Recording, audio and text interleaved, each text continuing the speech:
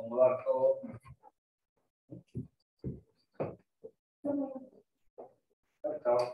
La próxima también es acá en esta clase, ¿o no? Ah, también. También va a salir en. No, sé. Ah, bien. Vale. Bueno.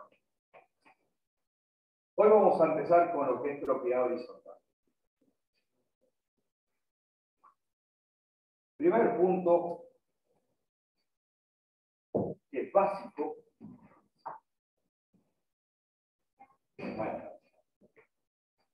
es no confundir propiedad horizontal con consorcio.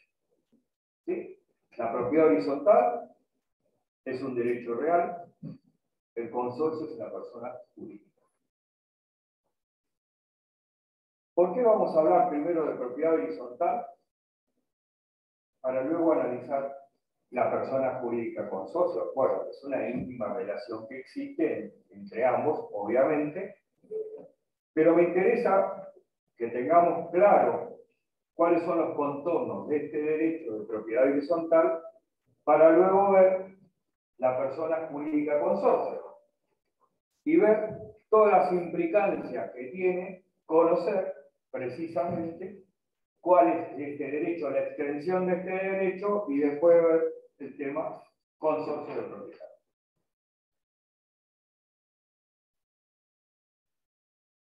El tema de la propiedad horizontal aparece definida en el artículo 2037 de nuestro Código Civil y Comercial.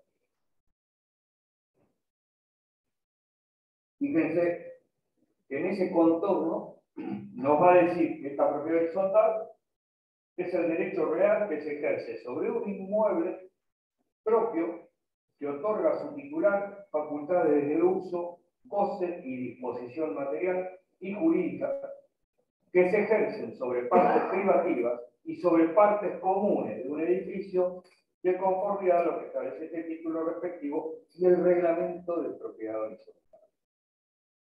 Las diversas partes del inmueble, así como las facultades que sobre ellas se tienen, son interdependientes y conforman un todo inescindible. Fíjense que empezamos a ver, ya empieza a hablar del reglamento de propiedad.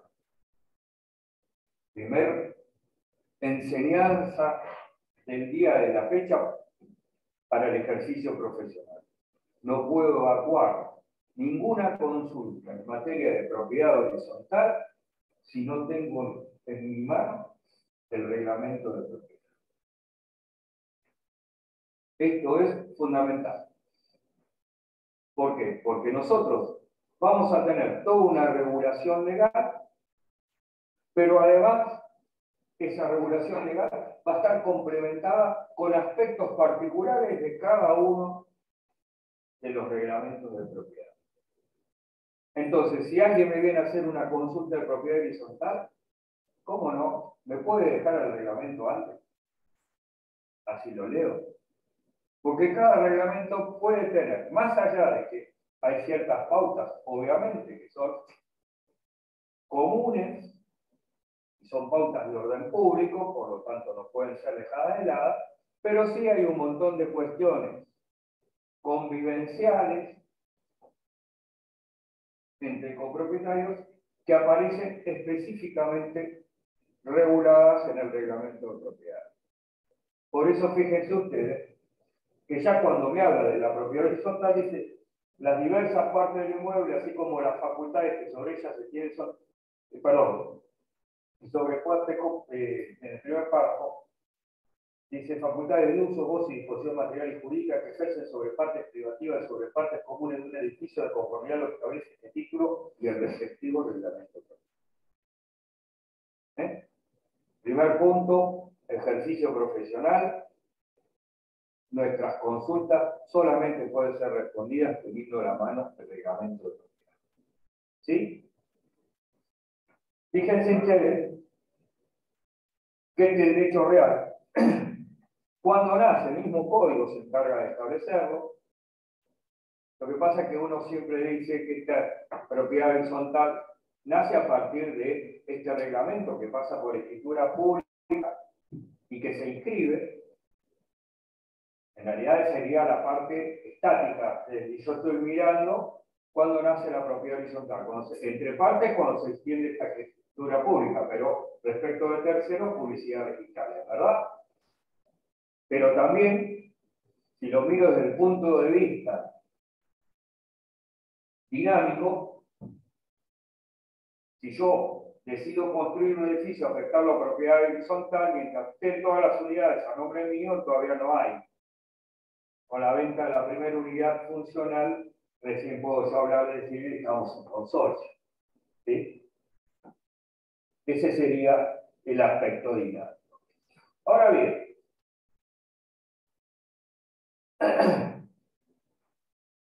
a los fines de la edición jurídica del edificio, es el 2038, el titular de dominio o los condóminos deben redactar por escritura pública el reglamento de propiedad horizontal, que debe inscribirse en el registro inmobiliario, y ahí viene algo que es importantísimo. El reglamento de propiedad horizontal se integra al título suficiente sobre la unidad funcional. ¿Eh? Hay una inescindibilidad entre el reglamento y mi título de propiedad.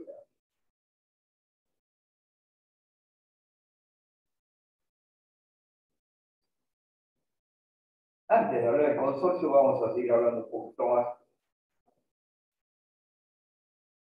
de este derecho de propiedad horizontal. En principio, nosotros decimos que la propiedad horizontal se integra por unidades funcionales. Lo que yo voy a tener en consideración es que voy a tener unidades privativas,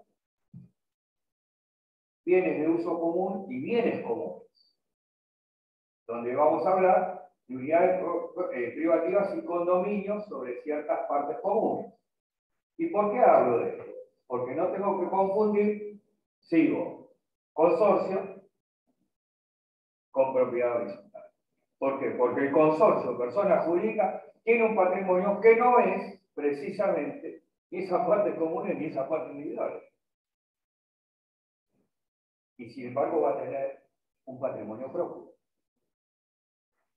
¿Está claro? ¿Y por qué me sirve a mí eso? Porque el día de mañana, cuando yo estoy trabajando, tengo que ver si tengo que ejecutar una sentencia contra el consorcio, persona jurídica, tengo que ver cuál es su patrimonio para saber a dónde voy a pagar. Porque sin embargo, un ascensor, el ascensor no integra el patrimonio del consorcio. ¿Comprenden todo esto? ¿Cómo empezamos a mirar de manera diferente? ¿Eh? La legitimación pasiva, siendo el consorcio, tendrá que agredir primero al patrimonio del consorcio. Por eso después vamos a ver el tema de las cosas. Sí. Una pregunta. Con respecto a la inscripción eh, del reglamento, no es que eh, hay distintas unidades funcionales, hay una modificación del reglamento. Eso se vuelve. La modificación, sí, tenés que extender la escritura pública. Claro. Si hay modificación al reglamento, sí. ¿Cómo? No, lo escribís en el mismo asiento. Por ejemplo, cambia el folio real de. ¿Cómo cambia el folio? La primera inscripción del reglamento completo va por folio real porque abre la, abre la propiedad horizontal. Sí. Cuando se cambia el reglamento, cambia, cambia también ese folio real porque tiene que, ser, tiene que estar con el la verdad, desconozco cómo es en la parte de escritura. No sabía que se cambia. Claro, que, a ver, no que, a vos te va a dar una matrícula. Sí. Sí. Folio, el folio 1, digamos, de la propiedad, es el por mayo pero entra el, el folio 1 es el folio real, el que cambia con, entra con el pedido de propiedad horizontal y reglamento por propiedad. Cuando cambias el reglamento, cambias ese. Pero vos estás cambiando, a ver, no estás cambiando el reglamento, estás cambiando una cláusula. Claro, Claro, vos no estás haciendo un nuevo reglamento. ¿eh? A ver, si vos modificás, suponete que vos modificás una cláusula del de reglamento de, de, propiedad. En realidad, vos lo que haces no cambiás el reglamento, estás cambiando una cláusula de ese reglamento. Que en general, muchas veces salvo algunas cuestiones, habría que ver qué es lo que estás modificando. Suponete que lo que modificás es la tasa de interés moratorio. En general eso, si bien se vuelve escritura pública en la asamblea, no se escribe esa modificación en la práctica. ¿Por qué? Porque en definitiva entre los otorgantes tiene validez y tiene la publicidad a partir de la escritura pública. Diferente es cuando vos cambias, por ejemplo, el modo de administración. Cuando vos decís, bueno, a partir de ahora decidimos que la administración tiene que ser a través de, colegiada. Y vos tenías un personal. Me parece que ese tipo de modificaciones que pueden alterar, o por ejemplo, donde vos autorizaste un cerramiento que implica en una unidad funcional privativa, que significa cambiar la superficie, lo que implica modificar porcentuales. Bueno, ese tipo de modificaciones sí necesariamente las vas a, no solamente las vas a votar, sino que las vas a escribir. Lo que desconozco es lo que vos me decís, la parte técnica de esa modificación. ¿Mm? Si es lo que vos decís, si se cambia el... La verdad, esa parte técnica no la Es más escritural que... Pero la vamos a averiguar. ¿Mm? Bien. Entonces, yo tengo que hay unidades funcionales privativas. Dentro de todo lo yo me imagino, de todo lo que está dentro de mi unidad funcional, tengo el libre albedrío, pero no es así. El derecho de propiedad horizontal se determina en la unidad funcional que consiste en pisos, departamentos, locales u otros espacios susceptibles de aprovechamiento por su naturaleza o destino, que tengan independencia funcional y comunicación con la vía pública directamente por un pasaje. La propiedad de la unidad funcional comprende la parte indivisa del terreno, de las cosas, y acá fíjense que estamos hablando de la unidad privativa, ahora estamos hablando de que además esta propiedad comprende la parte indivisa del terreno, obviamente el terreno es de todos, ¿verdad? De las cosas y partes de uso común del inmueble o indispensables para mantener su seguridad y puede abarcar una o más unidades complementarias destinadas a servir. ¿Por qué es importante esto? ¿Se acuerdan cuando hablamos del tema de las expensas comunes? ¿A qué apunta la expensa? Justamente a tener que solventar esos gastos que se vinculan con las cuestiones del mantenimiento de la cosa común, de la seguridad, de los servicios, etc la directa relación, que estoy hablando de unidad funcional, pero después estoy hablando de cosas que son comunes o de servicios que son comunes. Entonces, son comunes a todas y algunas de las unidades funcionales las cosas y partes de uso común de ellas o indispensables para mantener su seguridad y las que se determinan en el reglamento de la propiedad horizontal. Las cosas y partes cuyo uso no está determinado se consideran comunes sobre estas cosas y partes, ningún propietario puede alegar derecho exclusivo sin perjuicio de su afectación exclusiva a una o varias unidades funcionales. Está claro, puede haber una cosa que es común, pero que está afectada exclusivamente a las unidades funcionales de planta baja. ¿Eso se puede hacer? Sí. ¿Y eso es donde va a surgir? El reglamento, por eso muchas veces este tema no lo puedo explicar. Yo sé que la, la cosa de uso común, nadie puede reivindicar el uso exclusivo. Ah, pero ¿qué dice el reglamento? Será para utilización de las unidades de planta baja tal cosa. Entonces ya eso no lo puedo dejar de mirar. ¿Mm? Cada propietario puede usar las partes, las cosas de partes comunes conforme a su destino sin perjudicar o restringir los derechos de los demás propietarios. Y lo que me aclara, obviamente, es cosas y partes de uso común. Hay una enumeración que el mismo código se encarga de establecer ¿eh? en el artículo 2041, que es una, una enumeración que no es taxativa, porque yo puedo afectar por reglamento de copropiedad, de propiedad, mejor dicho, otras cosas. Y después aparece acá esto que es muy común, nuevo, ¿eh? en los edificios modernos, la pileta, el gimnasio, el salón de usos múltiples, el Zoom. Eso dice cosas y partes comunes no indispensables. La piscina, el solar, el gimnasio, el lavadero, el salón de usos múltiples. Enumeración también, nuevamente que dice. ¿Y por qué me interesa esto también? Porque ya, ya diferencié entre cosa común y cosa particular. Me lo va a reafirmar. ¿Por qué? Porque esto tiene que ver con quién se va a hacer cargo de. ¿Eh?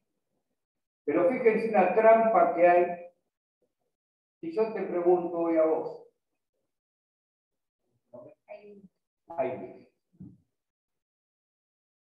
Se te rompió un caño en tu departamento de agua. ¿Quién lo tiene que arreglar? ¿De mi departamento? de mi departamento. No, bueno, ah, pensamos que vos sos propietario. Ah, bueno, yo. ¿Pero si es de mi departamento? Sí. Sí. Ahora, si es de un lugar. No, no, no. Primera respuesta. Primera respuesta está mal. Tendríamos que ver el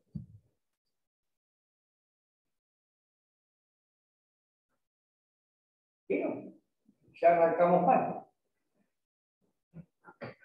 Pero después, fíjense, Matías se ¿Por qué te reís, Matías?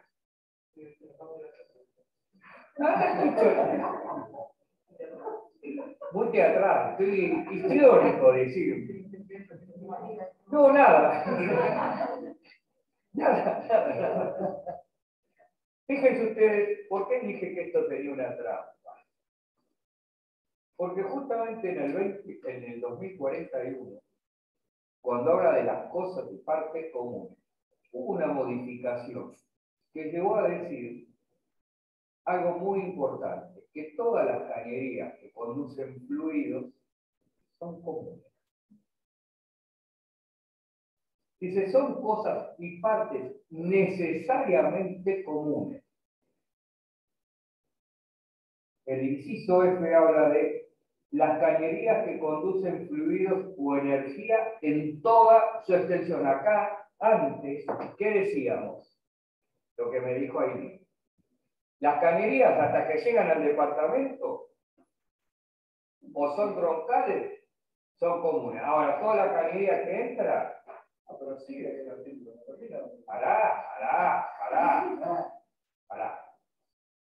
Lo que va a decir y los cableados hasta su ingreso a la unidad funcional. Lo que te dicen autores, como Constantino te dice, cuidado, todo lo que conduce fluidos, ¿eh? las cañerías, son comunes en toda su extensión, sean de energía o de fluidos. Y los cableados hasta su ingreso a la unidad funcional. ¿Qué fluido? ¿El gas natural es un fluido? No, gracias. No, no, puedes, no, puedes, no ¿Cómo, cómo? Que puedes no cualquier, puedes trasladarlo sin a la que es la, la, la media áurica los fluidos, que cuánto, cuánto, qué capacidad necesita un calle para trasladar un fluido. Ajá. Yo entiendo que el gas natural es un fluido. Depende. Si el fluido es líquido, no que contacto con, a ver, en contacto con, la, con el aire se hace gaseoso, ¿no? es así? No, viene, viene con ¿no? ¿Cómo está? No, no, claro, no. Antes, en la cañería también es gaseoso. Claro, por eso el medidor son dos alveolos, no es una rueda. Ah, bueno, ya está una parte técnica que se desconoce. Para la semana que viene vamos a definir el alveolo no, son dos ocho, uno arriba del otro. Que gira.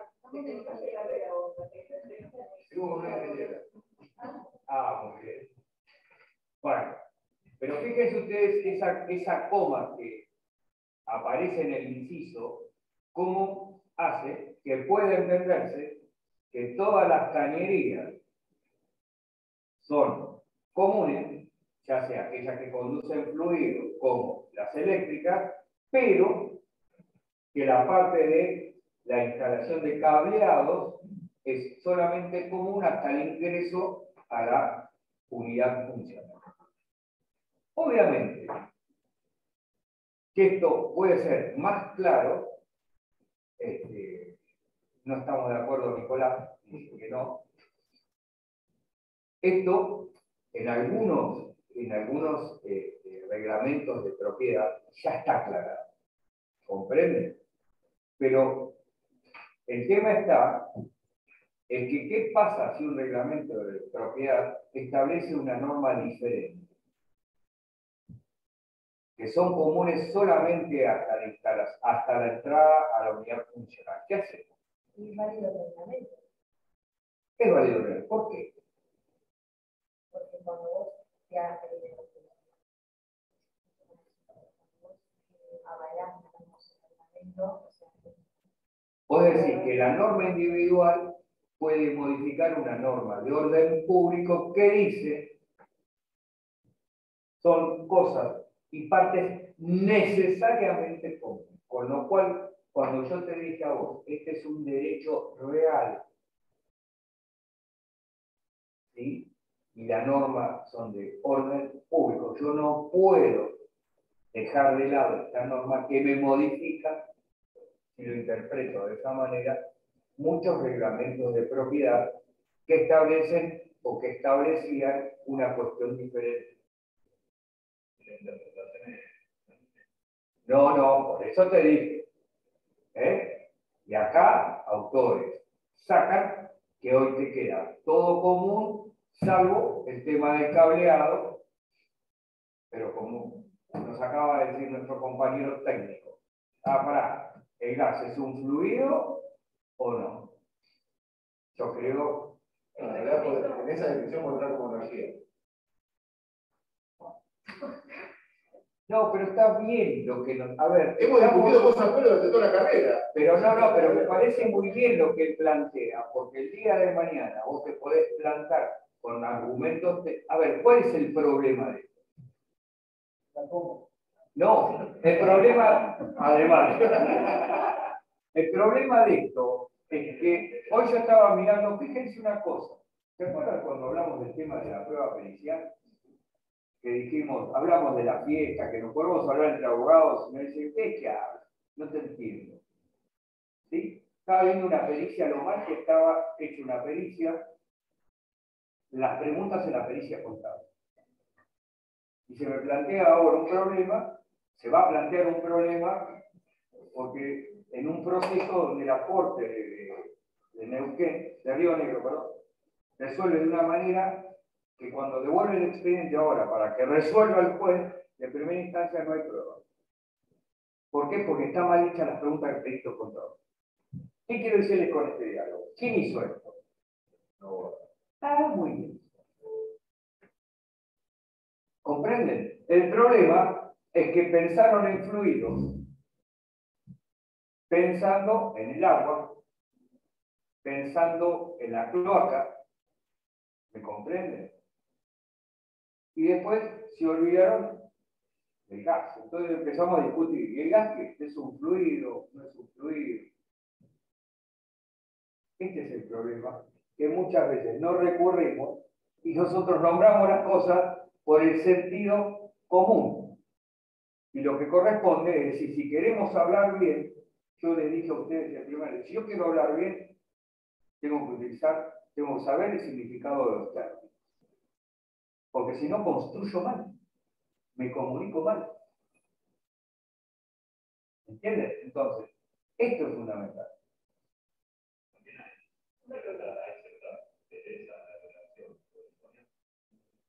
La coma, le digo,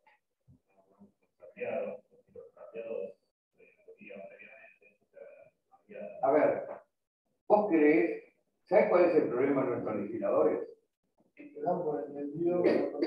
Que hablan de primero que gastamos en un montón de asesores que son países, no son asesores. Me hago.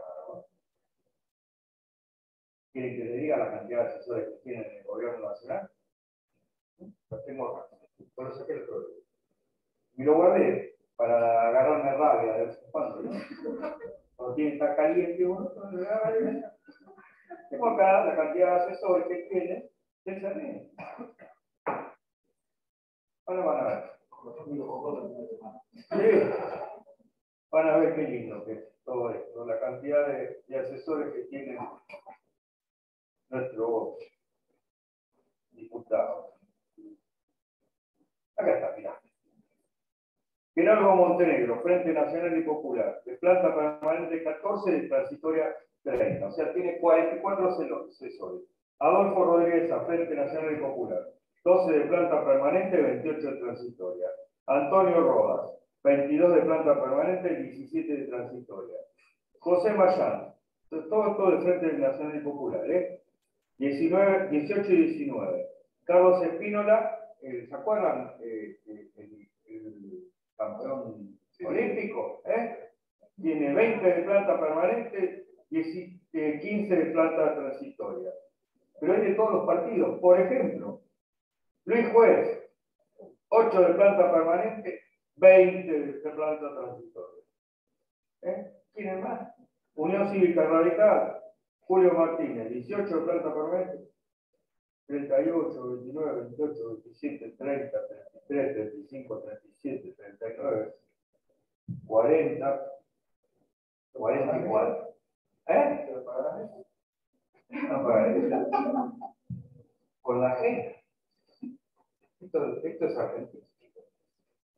Y escriben y escriben más. Y lo que vos decís. ¿Está claro? ¿Qué decía Silvia? Yo lo que quería preguntar entonces, eh, si el reglamento supongamos que dice que no, que es eh, Hasta la entrada del departamento y de acá para acá, no. Hoy vale el derecho real de la propiedad. entonces cuando decimos, bueno, si tenemos que saber lo que dice el reglamento, pero sobre todo tenemos que saber lo que dice la si No, no, obviamente, lo que yo te digo es que en temas puntuales Pero no. si la convención de las partes, sí, y no pueden modificar lo que es el contenido. Acá tengo un contenido de derecho real que no puede ser modificado por la voluntad de las partes. Por eso te hablé de norma de orden público. No hay ningún caso que planteado que la, la convención del reglamento fue anterior a la, a la sanción del código. Sí, seguramente que hay, que, hay, que hablan de que está modificado a partir de la, ojo, a partir de que entró en vigencia. No, no, porque me imagino cualquiera de los consorcios de Colón, unas 1600, 200 de- del departamento, Y sí, obviamente, si se plantea la cuestión, hay que decir, mire, esto está modificado. Bien. A partir de ahí, ahora sí vamos al consorcio. ¿Mm? El tema del consorcio, como persona jurídica, nosotros lo tenemos en el artículo 148, cuando eso me terminó una discusión que aunque les pareciera a ustedes, hasta el 2015 que se sancionó el código se venía discutiendo y en algunos en algunas jurisdicciones no se- en algunos fallos de, de la competencia de la Cámara Nacional Civil me seguían hablando de que el consorcio no era persona jurídica. Y es más, hay un, proyecto de modificación para derogar justamente el inciso, creo que es H, del artículo 148. ¿Eh? Una cosa de locos que es diciendo, práctico, pero toda la vida.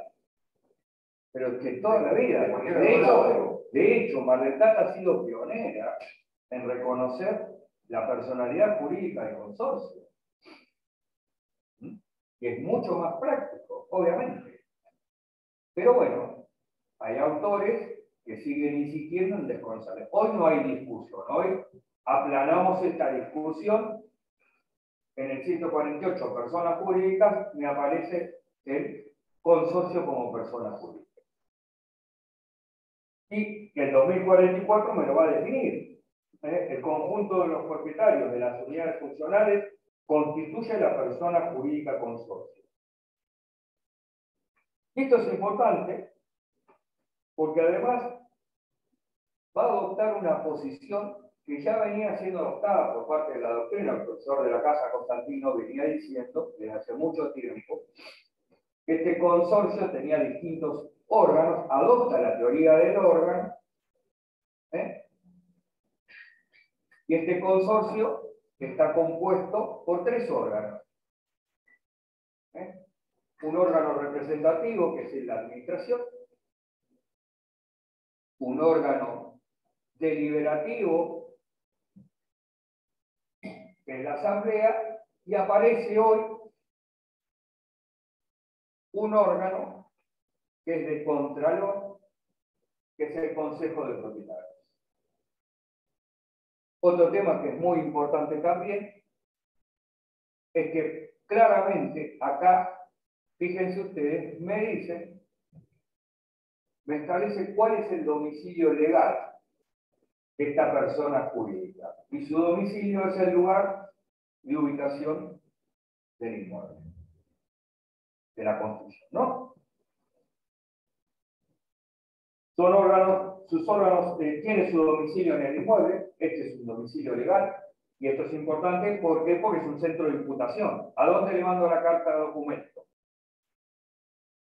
Al domicilio. No, no confundamos el domicilio del administrador con el domicilio del consorcio.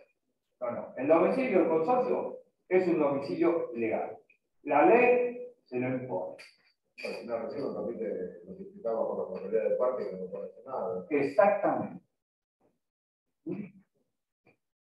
Y además, me dice, sus órganos. Claramente me los ha identificado.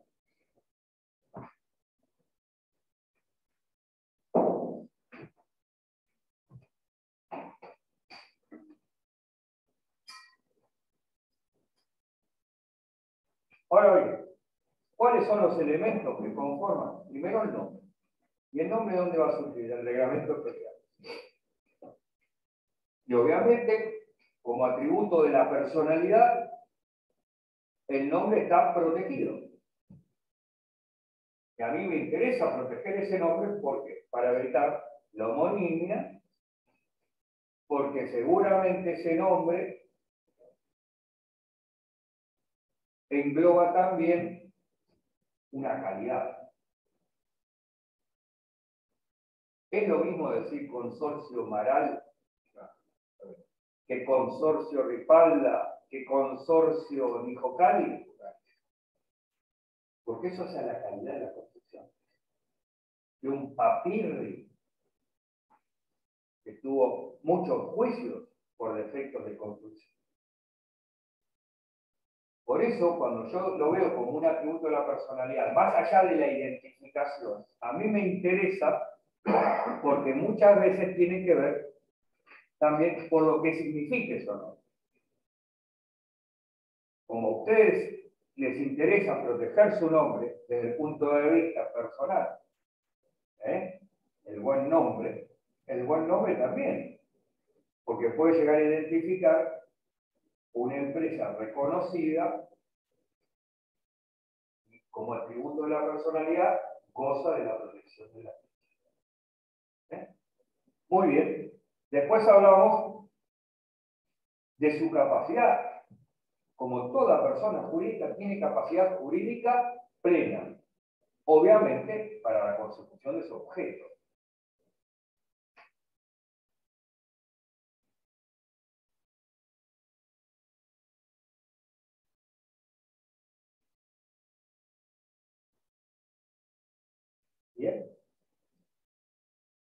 Su domicilio, que lo acabamos de decir. Y obviamente tiene un patrimonio que no puede ser confundido, obviamente,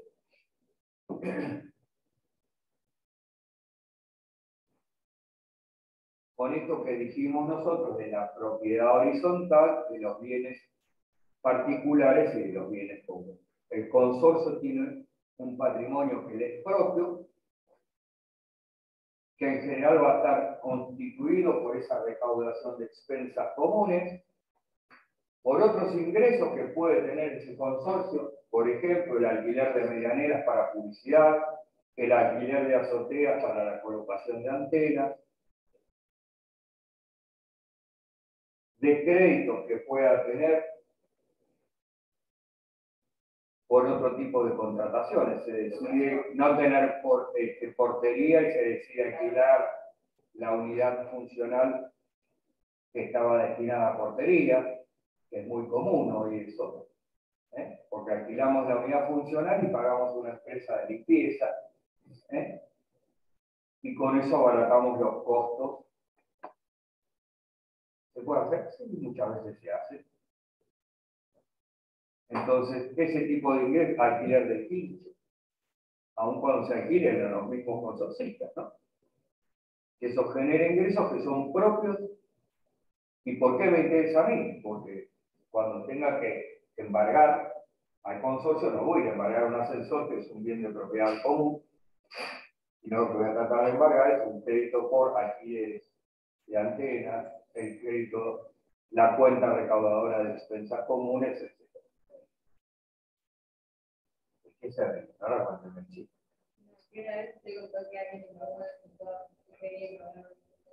Sí, siempre tengo que contar lo mismo. Hay algún caso que para siempre parece que un ejemplo más. No, no, pero es cierto, es cierto, o sea, sí, bueno, equivocadamente. Dice que uno lo hiciste, yo lo sé. Si salió de la facultad, si salió de esta facultad lo debe haber escuchado. Lo que no lo aprendió, digamos. Muy bien.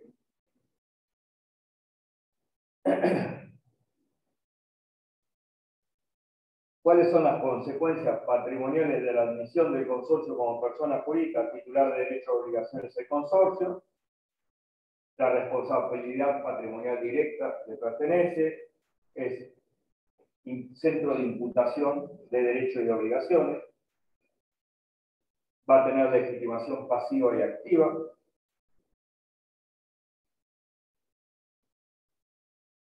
la sentencia le va a afectar a él, sin perjuicio del tema de la responsabilidad, luego sobre los restantes miembros integrantes del consorcio.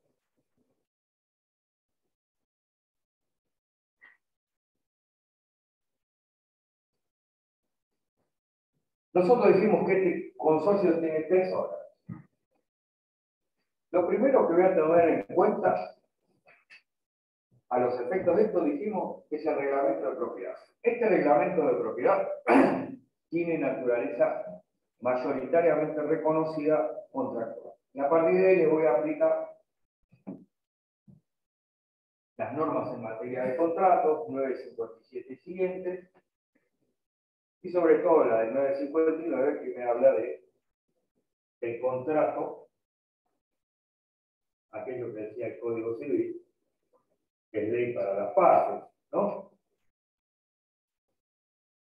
Efecto, ¿eh? Todo contrato válidamente celebrado es obligatorio para las partes. Su contenido solo puede ser modificado o extinguido por acuerdo de partes o los supuestos en la ley Ahora bien, También dijimos que este reglamento de propiedad integra el título. ¿Es verdad? Muy bien. Ahora, es importante destacar, más allá de su obligatoriedad y su naturaleza contractual reconocida, es que dentro de este reglamento vamos a encontrar dos tipos de cláusulas. Las cláusulas estatutarias y las cláusulas reglamentarias.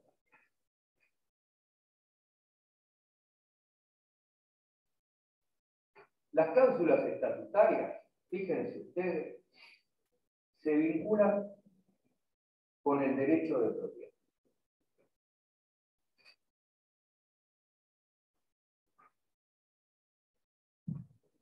Se vinculan con la extensión propia de mi derecho de propiedad y las zonas que, en definitiva,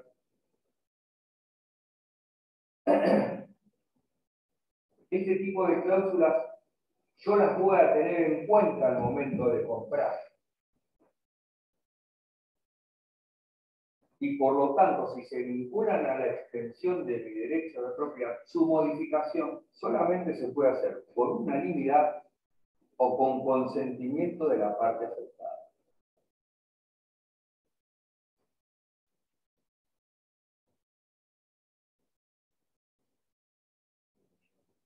Departamento A les deja aire y luz al departamento B por en común. A ver, te voy a preguntar. Previsión de tener animales. ¿Es estatutaria o reglamentaria? Qué bien. Correcto. No. Si sos alérgico, que vos tenés fobia a los animales. Compraste en un determinado, en un determinado edificio porque qué bueno, no voy a escuchar un perro ladrar, una cotorra cacarear. ¿eh? No, no, lo dice el reglamento. Lo dice el reglamento. Por eso, perdón, chicos. Ay, mi hijita. 25 años. Hola, hijo, ¿tienes clase? A las 6 de la tarde. Claro. Eh, bueno, 20 minutos son. 20, 21 años. Fíjate vos, que ese tipo de cláusulas que parecen una estupidez son estatutarias. Para vos, particularmente, estás pensando que eso es una cuestión menor. Animales sí o animales no. Sin embargo, puede haber mil razones por las cuales yo elegí ese departamento. Y una sea precisamente la previsión de tener.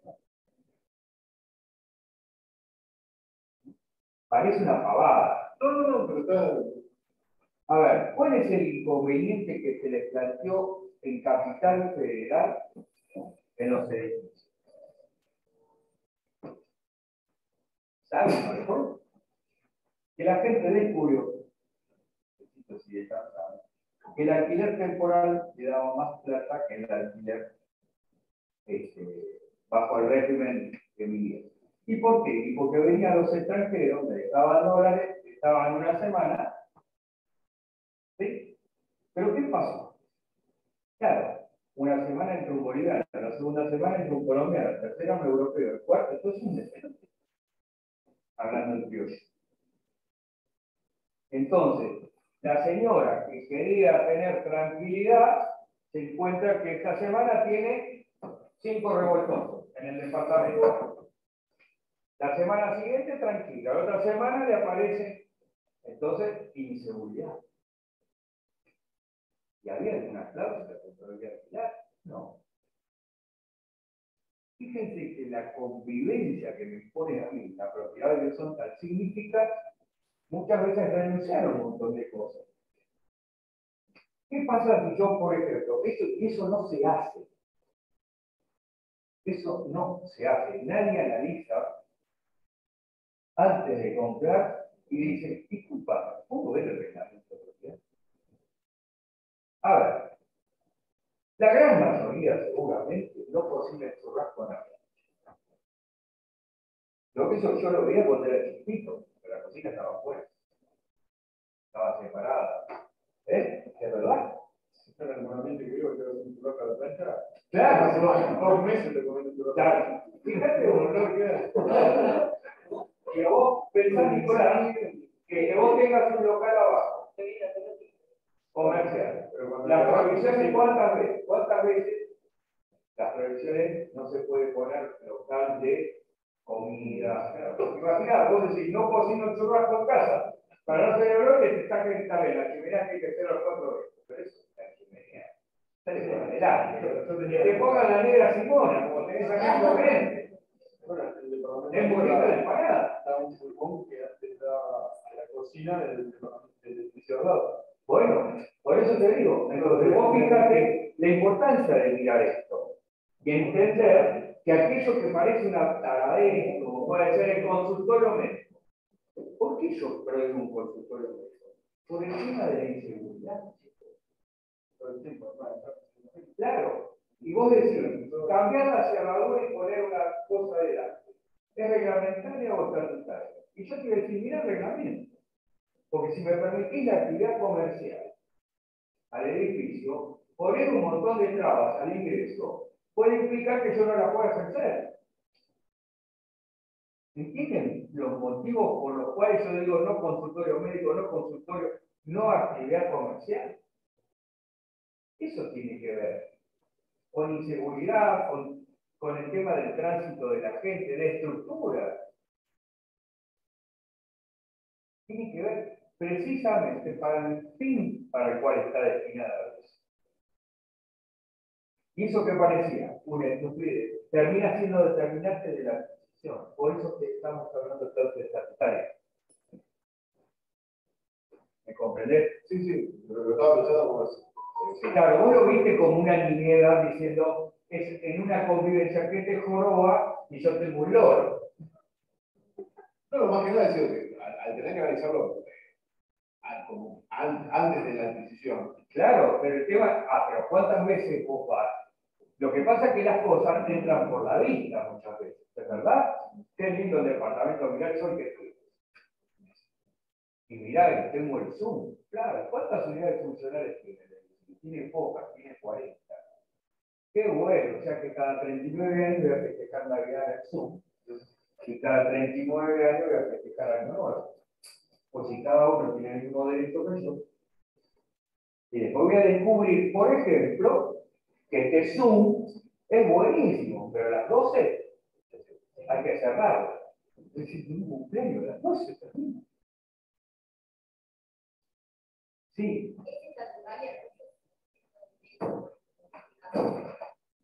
obviamente, el destino de las unidades funcionales precisamente es un típico caso de cláusula estatutaria. Porque se requiere decir la unanimidad. Claro, porque hace la extensión de tu derecho de propiedad. Vos decís, estamos suponiendo que vos compraste, hiciste un análisis. A vos, no te, a vos te, te- te interesaría vivir en un edificio, y yo te digo de una, ¿eh? Hasta el tercero son este, oficinas. No, no sé. ¿Qué sé yo la cantidad de... Y aparte tiene que estar abierta la puerta de 8 a 12 y de 4 a 8. Yo decís, "Sí, se me mete". Entonces sería en esos casos a nosotros nos respetan los Exacto, el derecho, la extensión de tu derecho. ¿Está claro? Es decir, este tema que parece una pavada de alquiler temporario, tiene que estar determinado. Si no, yo no puedo alquilar temporario. Entonces, como vos compras y te integra, por eso es tan importante este tema cuando hablamos de la propiedad horizontal y Cuidado, el título se integra con el reglamento. Por eso te dice, y usted conoce el contenido del reglamento. Por eso muchas veces, y una esteticista, y si no puedo no hace ruido, simplemente la. ¿Qué me interesa? Tiene un departamento por cuestiones de seguridad, y resulta que ahora, ¿eh? Ni hablar de otros casos ya un poquito más pesados, como puede ser que aparezca el departamento que sea un lugar de atención. ¿Es verdad? nosotros como una especie de restaurante privado. Bueno, tengo que queda claro, restaurante afuera. Queda Ah, bueno, es mucho mejor. Bueno, pero ven cómo me cambia la percepción de tener en consideración este tema, de verlo desde el punto de vista de si es una cláusula estatutaria o no, cómo lo modifico o no. Y aquello que parecía una pavada, ah, yo tengo un perro pero es mudo, le corté la, la cuerda vocal. ¿Y si soy alérgico? ¿Y soy fóbico? Pero, por ejemplo, si esa cláusula no está en No, pero vos si no está inserta en el reglamento, vos podés provocar que saquen al perro si el perro hace ruido molesto. Pero es diferente. no, no, bueno, pero los ruidos por otro lado. Pero, por ejemplo, el de. No, obviamente. No, es una pavada que yo digo en cuanto a por qué elegir a vivir. Seguramente, eh, digamos, son ejemplos Pero no está inserta en la obviamente que vos no la podés invocar, podés invocar, no, hablar. Y la cláusula reglamentaria ¿eh? que son aquellas que hacen al funcionamiento del sistema de la propiedad horizontal y a su regulación dinámica del ejercicio del derecho de propiedad. Por eso, cuando el 2057 habla de modificación,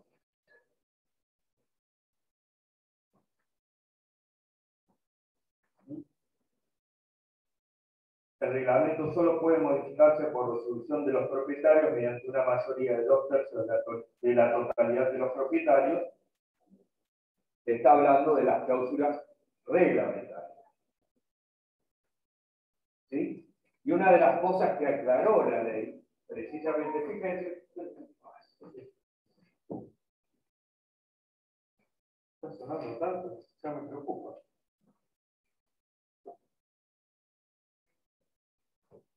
Ah, Martina, por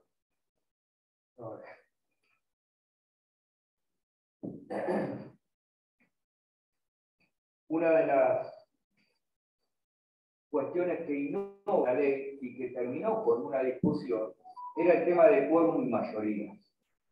¿Por qué? Porque empezaban los autores a discutir en este tema del funcionamiento de la, de la propiedad horizontal, del, del consorcio. ¿Qué pasaba? que empezamos a interpretar. ¿Cuánto es el quórum para funcionar en una asamblea? ¿Y cuál es la mayoría para tomar una decisión válida? Si se computaba sobre la totalidad de unidades funcionales, sobre los presentes, etc. En este sentido, el Código Civil y Comercial terminó con esa discusión, porque hoy se computan todo, tanto quórum como mayoría, sobre la totalidad de unidades funcionales. Primer principio. Segundo, para obtener una decisión válida, hace falta siempre calcular las mayorías sobre la totalidad de unidades funcionales, pero también sobre porcentuales. Es decir, yo tengo 100 unidades funcionales, la mayoría absoluta contada sobre unidades funcionales es 51 unidades funcionales, pero también tengo que tener porcentuales. ¿Comprenden? Lo que pasa es que, ¿cómo me soluciona el problema la ley? Es que cuando yo tengo una decisión asamblearia que no logro las mayorías requeridas, eso se va a tomar, eso lo vamos a ver cuando veamos el tema asamblea y funcionamiento, eso lo va a tomar como una propuesta, dice la ley que se va a convertir en decisión asamblearia si tengo una voluntad contraria de parte de aquellos que no concurrieron. ¿Comprenden? Entonces, lo que voy a tener, si no, si no objetan aquella propuesta, una decisión que se convierte de propuesta en decisión asamblearia por falta de impugnación. ¿Comprenden? ¿O no? ¿Eh? Ahí me lo soluciona. Es decir, vos no concurres, porque ¿qué es lo que pasa siempre? Que siempre van los cuatro locos de siempre. Y es verdad, tenemos 100 unidades funcionales y si van 10, es mucho. ¿Quién se que le dio poder al administrador para que siempre son los mismos. ¿No? Entonces, porque durante todo el año hay quejas, pero llegado el momento de vertir las quejas, no se va. O se hacen en forma tardía, obviamente. Por eso es tan importante entender este tema para saber cómo modificamos un reglamento, qué tipo de funcionamiento le voy a exigir, estamos bien, ¿eh? en las modificaciones. dentro de este tema de las modificaciones, también vamos a hablar del tema de las mejoras.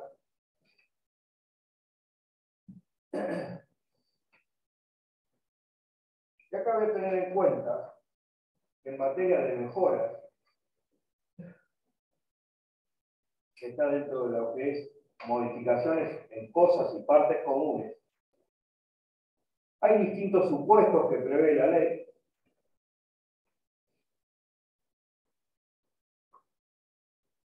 Y cómo en una mejora u obra nueva sobre cosas y partes comunes, tomada una decisión que sea vinculante, porque tiene los votos necesarios,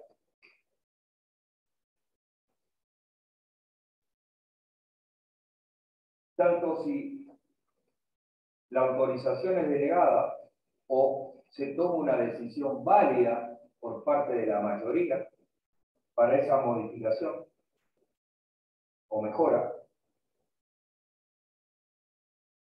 se prevé una vía judicial de impugnación.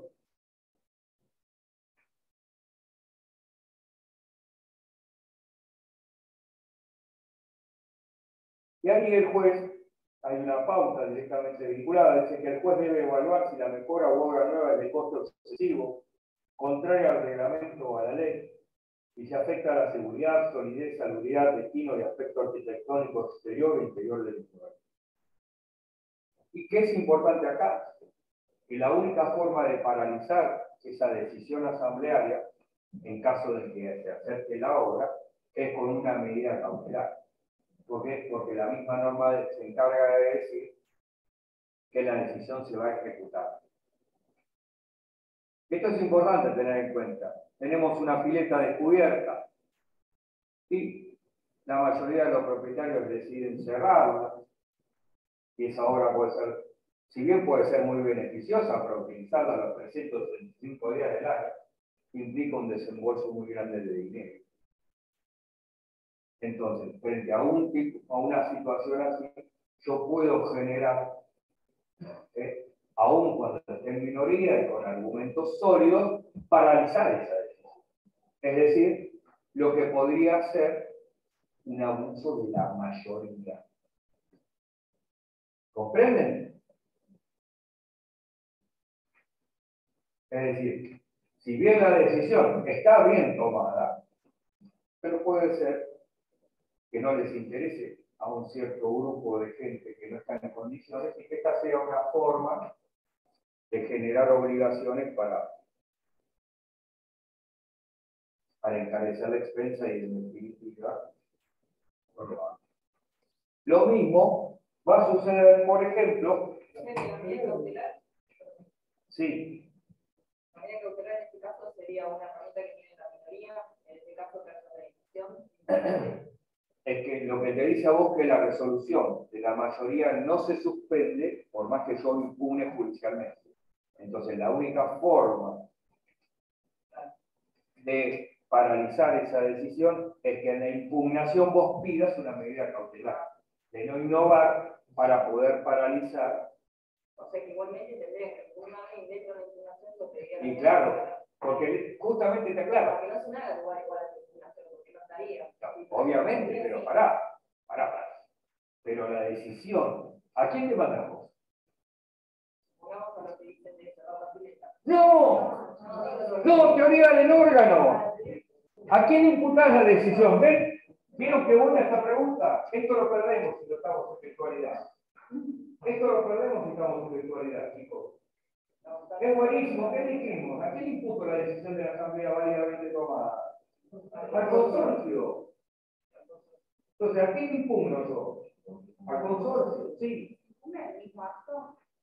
O vas a votar en contra. Obviamente que el antecedente necesario para poder impugnar es votar en contra.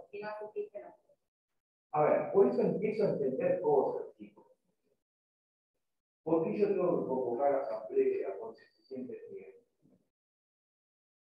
comunicando correctamente los puntos del orden precisamente para que si yo tengo interés, pueda ir formado para poder volcar argumentos ¿eh? que después los voy a desarrollar más técnicamente seguramente. Vamos a probar el cerramiento. Sí, fenómeno. El cerramiento cuesta 10 millones de dólares. Yo voy con mis herramientas y digo, yo, yo puedo estar de acuerdo en la decisión, pero no puedo estar de acuerdo con el presupuesto, qué sé yo, mil cosas. Parece una asamblea requiere de tiempo la convocatoria. ¿Entiendes? Para que yo me pueda informar y obviamente objetar con fundamento. Y también, si yo estoy en condiciones de no poder ir a desarrollar si el gas es un fluido o no, le vamos a dar el poder a él, comprenden también para que uso el poder. Para que vaya y discuta si es un 8 o al revés, qué es Nos empezó a gas y ya no estamos. ¿Comprenden? En cambio, el administrador va a querer y se va a enfrentar a, una persona formada que la va a dar de vuelta tres veces. Para eso también sirve la carta poder, chicos. Esta está, y esto es ejercicio profesional. ¿Qué voy a mandar? Yo a mi cliente a discutir técnicamente en términos jurídicos con el administrador. Pagame, obviamente, mi honorario, yo voy a discutir con propiedad. Y si voy a votar en contra, ya le tirar los argumentos para luego después volcarlos en una demanda. ¿Entienden? ¿Y por qué la asamblea? ¿Y cómo? ¿Eh? Teoría del órgano, la imputación de esa voluntad, ¿quién será? A este sujeto. ¿Estamos bien, Matías? Este que es teórico que estoy hoy.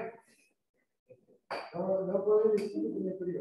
Si decir que tiene frío, está quedando. Bien, me encanta que podamos este diálogo me encanta. Y esto lo perdemos. Esto está bueno. ¿Eh? No, no, pero por lo que ahora que Claro. Claro. están mentalizadas leyendo lo que habían dicho y dice, bueno. Bien. La mayoría del 2051 ¿La? el 2051. Sí, pero pará. No, no, no. Acá lo que vos tenés que tener en cuenta cuando hablas de la mayoría es la mayoría. Si no te dice que es mayoría absoluta, es mayoría simple. ¿Sí? Pero como la calculás sobre la totalidad de unidades funcionales y de porcentuales, pero ahí tenés que ir a ver el reglamento. Pero puedo, puedo grabarlo con el reglamento. Claro que sí. Lo que pasa es que tampoco funcionaría, desde mi punto de vista, que para todo requiera la unanimidad. Sí, es una forma para realizar el. porque paralizar exactamente el, el funcionamiento del consorcio. ¿Eh? Pero fíjense que también esto, después lo voy a volcar, supongamos que le tenemos simpatía al de, al de la unidad funcional de abajo, le permitimos cerrar el patio. Pero eso implica modificar porcentuales, porque si una superficie descubierta yo le permito este, cerrarla, eso va a traer aparejado una modificación en los porcentuales.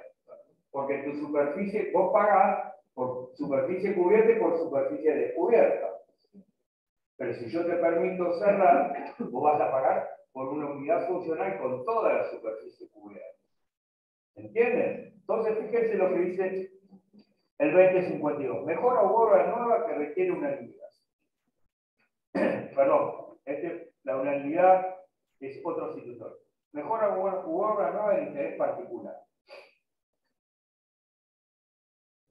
Si la mejora u obra nueva utilizada sobre cosas y partes comunes es el interés particular, el beneficio debe efectuar, el beneficiario debe efectuar la suposta y soportar los gastos de la modificación del reglamento de propiedad horizontal y de su inscripción si hubiere lugar a ello.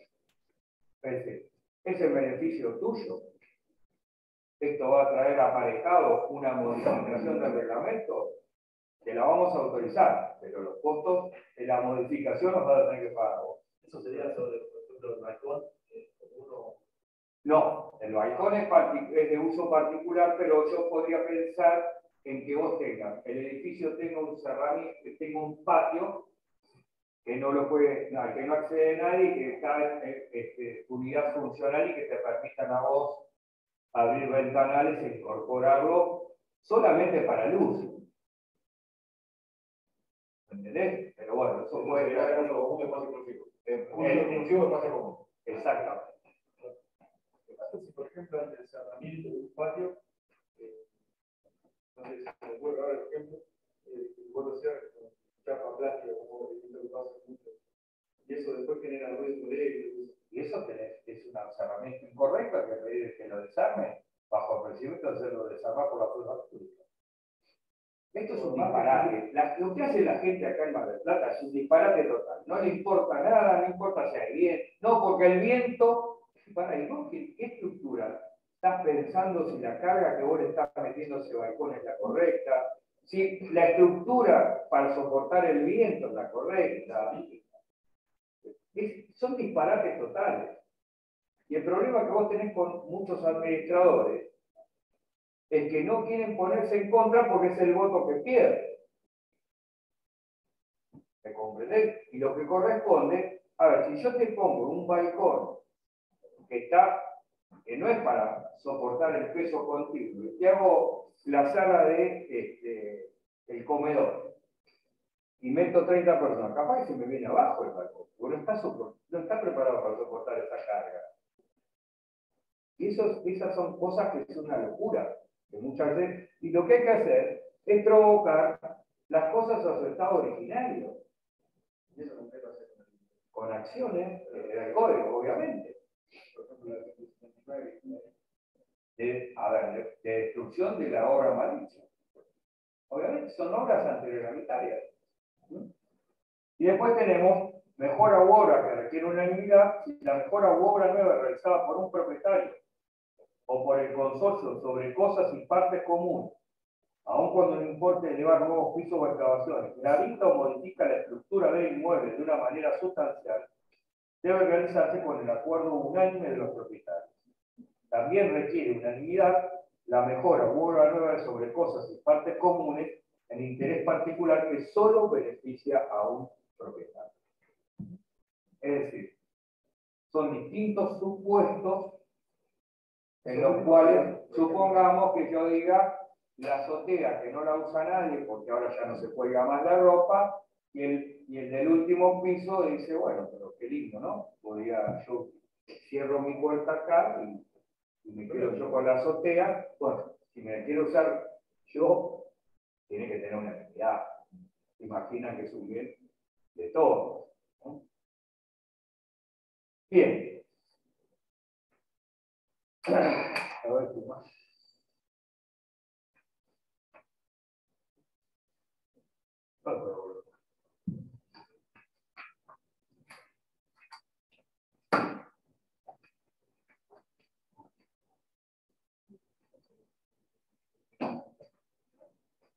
¿Alguna duda de lo que hemos visto hoy?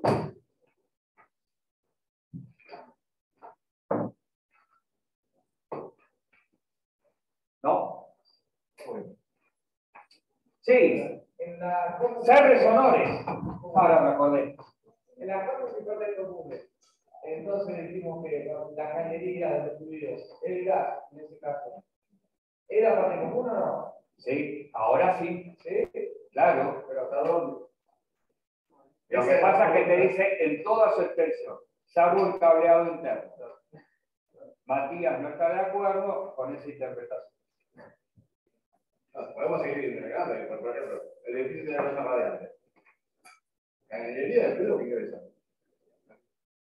Yo creo que en el tema de la losa variante de cada unidad funcional es común para todos. Y si todos tienen el mismo beneficio, por eso también, fíjense ustedes, no todas las comodidades que hoy ofrece losa radiante, una cosa es tener, supongamos, mi caldera propia, que se me rompe y yo no tengo ninguna duda de que, que- que me corresponde a mí arreglarla, ¿no? Pero cuando yo empiezo a tener servicios centrales, todo ese tipo de cuestiones. Eso luego va a tener directa relación con la expensa que me quiere. Con el grado de problema que va a tener el edificio. Pero nadie lo ve eso. ¿eh? Ojo. ¿Qué? Sí, pero la gente, ¿saben por qué, chicos? Porque la gente generalmente ve y concurre cuando ya tienen el problema. Y esta es una realidad. Nos guste o no nos guste, nosotros no hacemos abogacía real. En general, toda nuestra abogacía está vinculada al juicio, al proceso, al problema. Asensio. Blasco. Que tiene COVID. Me dijo que no puede estar ¡Apa! igual ni acá. Sí, mejor. Gracias. Ah, virtual. Hola. Presente, presente. Grande. ¿Salió bien la clase? Sí, sí, se escuchó perfecto. Bárbaro, gracias. Consorte Julieta. Está bien. ¿Está acá? Consorte. Fernández Mariano. Gallego Magdalena. Lola Juan Martín. La de sur. Presente. Sí, presente. Mendizábal Carolina.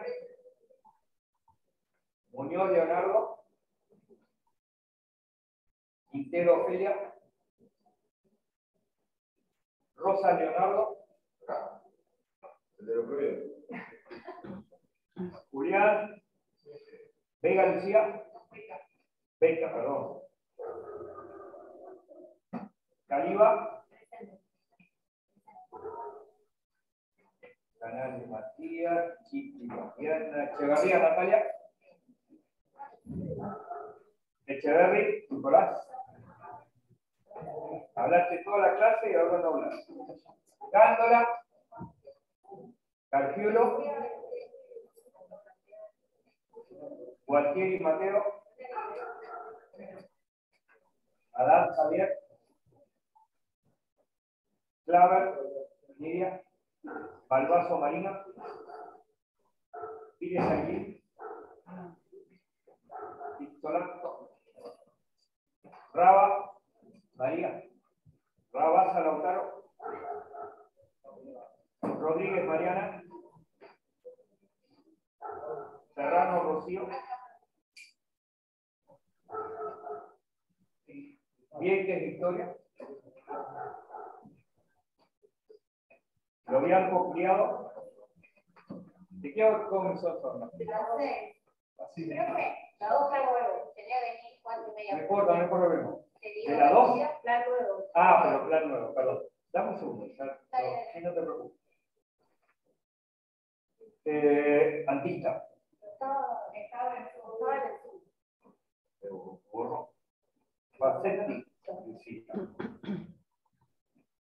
Matías. Ramario Florencia. ¿Qué otra comisión hay?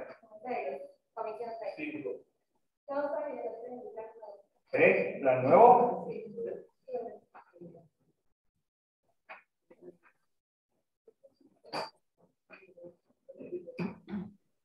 Tres plan nuevo. ¿Quién está? Gómez Agustina. Gómez Agustina. ¿Quién? Artaza Dana. Artaza Dana. Soberón, y. Muy bien. Vamos entonces a las comisiones viejas. Vamos a las 5. Y las dorsas, allá. Vos no tenés comisión. Comisión 5, Blanco. A Nico. Pronto. Giacometti. No, ahí no. Presente, profe. Estoy acá. ¿Eh? Betty dijo eso. Ah, Villani, acá, Ya no vaya. ¿estás doctor. Estoy acá, presente. Ah, pues no te. Villan- Villani, De Marchi Franco. Denis, acá. Carrica, Mejía Calvarín, Maniagua Lucía, Tanguilla. ¿Alguien más quedó sin nombrar? Es facilitado. Porque es como privado y a veces se superponen y los chicos centro. Sí, que estaba por allá. Por Zoom. Ah, se te superpone el horario. La verdad que no sabía lo del Zoom, sí. hoy me organicé para venir a las 15. Bárbaro. Eh, sí, sí, los pero- chicos tienen el problema ese y se Pero conectaban cuando por ponen privado y Zoom 45, entonces puedo venir en toda esta. Sí. Así. Vete por Y la, ahí- la y página. luego presente.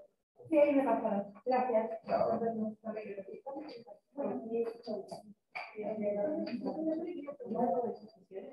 Dale.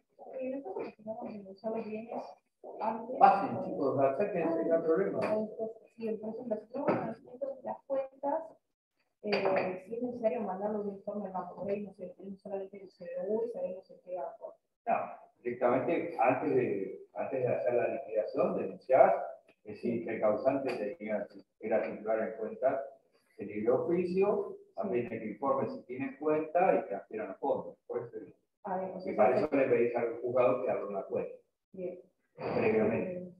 Y por ejemplo, en el práctico que fue la profe, había una casa y un auto que eran condominio.